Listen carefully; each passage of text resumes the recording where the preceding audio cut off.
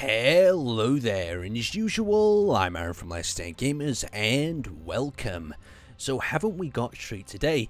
It's Thursday, and even though that many of us are celebrating a certain occasion today, we've even had enough time to receive the patch that is exploration mode, the thing that we've been waiting for for so long. So let's actually have a look at it. Let's set it to easy mode and I'll show you here so you can actually see the density level that we can actually set here. We've got the usual and we've got infinite low, infinite normal and infinite high density.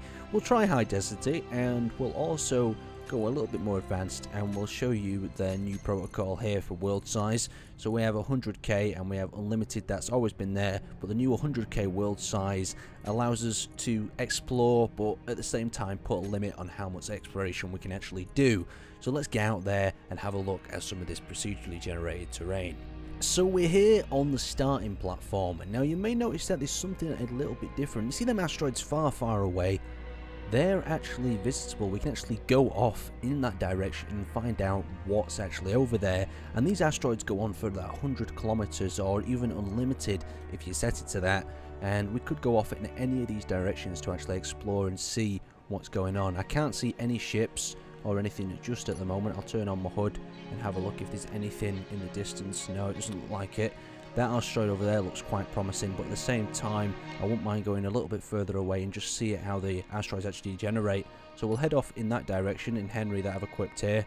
And as we fly in, we should start to see the asteroids actually become generated. So we'll turn the power on and we'll blast off over here. So we can see the asteroids actually further away and it's just adding that extra level of immersion into the game. Now that looks like quite an interesting asteroid up there, if that is an asteroid or a ship. Let's actually pull left a little bit and have a look what this is over here because this looks quite interesting unless it's just a small little cluster. You can see that the asteroids are actually being generated. You see that one's being generated and the asteroids actually behind me are being, well, not removed but they're being remembered and actually placed there if I decide to revisit. So if you leave a world like this, all the asteroids are already actually preset but at the same time, if you restart another world, it'll all be completely random. So it's quite an interesting thing to actually have a look at. Now I've completely lost where I was heading with that other thing. Now I'm going to have a quiet look around. Oh, let's have a look at that asteroid. That one's pretty interesting. So the, all these asteroids are being generated and they're not like the ones we've actually seen before. These are sort of very new in configuration. You can see how we've actually got like joints and different bits sticking out the side of that one. So the multiple asteroids actually connected together. The starting platform is now far, far away. Let's actually take a look at this one. And the community creations are actually going to be stored either on the asteroids or around these asteroids so you've just got to be careful when you're looking out. You might come across them you might not. And obviously since space is so large it's going to be very hard. So this looks like a donut sort of asteroid with a number of other asteroids actually stuck into it. And due to that being configured like that it means the asteroids are pretty much like endless in configurations and shapes and sizes. Anyway let's head off and if I find anything I will get back, restart recording and show you what I found. So we're coming up on what looks like a quite interesting asteroid. I don't think I've seen an asteroid that actually looks like this before. It looks very warped, very starred. Maybe they've added some new asteroids into the game as well, or it could just be sort of the part of the procedural generation of the different shapes and asteroids. This is, looks like a very sort of star, sort of warped out sort of style of asteroid. It's got like a little bit of a cluster at the top, just passing by that. Whoa, that would be absolutely beautiful to mine. It looks like it's got a hole in the top there. Let's go and have a look inside. Might even find a base or something. And yeah, we've got this like entrance here that looks like it's been snapped off. Oh, and that's perfect. That's perfect for a little base construction there. It's just, it's just so fun now because you're not limited to the asteroids that you actually start with. And that means that you could come across something. There's actually reason to go out into space and look for somewhere else to actually construct your base. Now this would make a really nice little station inside here something I might have to come back to. I could add a little beacon maybe to this area and I could come back to it later. Still not found any ships though, but I'm sure I'll come across one soon enough. Now something else that I've discovered that is actually quite exciting, I'm actually leaving from that star asteroid that I was just exploring and heading over here and this asteroid is actually quite far away and I can actually really feel the speed. Uh, as I'm getting closer to it the object is obviously getting larger. As I'm getting away from that one it's getting smaller. But I can just feel the need to go faster make a faster ship. I mean slower ships would take absolutely ages to get anywhere because space is just so large and I think they've just really illustrated it extremely well just how big the vastness of space is. You can see these asteroids and different little things out there but it really gives you somewhere to go and something that wasn't like this before, and it's just it's just really interesting to actually a play around with. I'm still on the hunt for a ship though, or something, but they're so small, it might be really hard to actually pick up or detect. I don't know. I've been looking for, for things so long though. Every, I can't tell. I really can't tell if I'm moving, or everything else is still. Am I still, or is everything else moving? I think the asteroids are moving.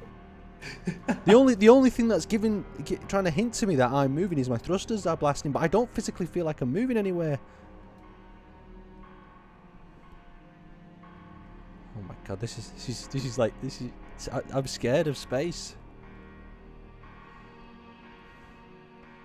There's so many asteroids. I just want one ship. So, so what? Give me the statistics again. So, uh, there's an inf there is there's a hundred percent chance I can bump into something if I stay on one course, but it could take me up to 300 years. Correct, or not correct?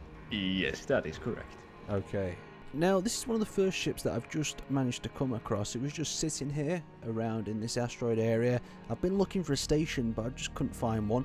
I've rewired it up, and this ship seems to be a really interesting design. The cockpit seems to be able to be a separate module that can be detached and moved around to different locations. So you can see we've got all these merge blocks here, here and here on top, as well as battery cells. It's a really nice design. And I've wired up some piston doors that I found. So we've got these sort of blast doors that pop open on the sides that reveal weaponry, pistons there and there. And if we do the other button, we've got blast doors that open on the back that reveal some sort of cargo uh, troop transporting capability that has buttons and is wired up and it's just a really nice thing to have a look at. I'll have to continue exploring and see else what else I can find. I'm really hoping to find a station.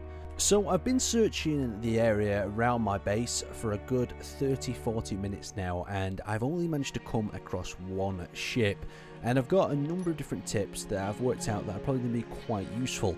Now the first one is when you start looking for things in space, try to work out a general direction.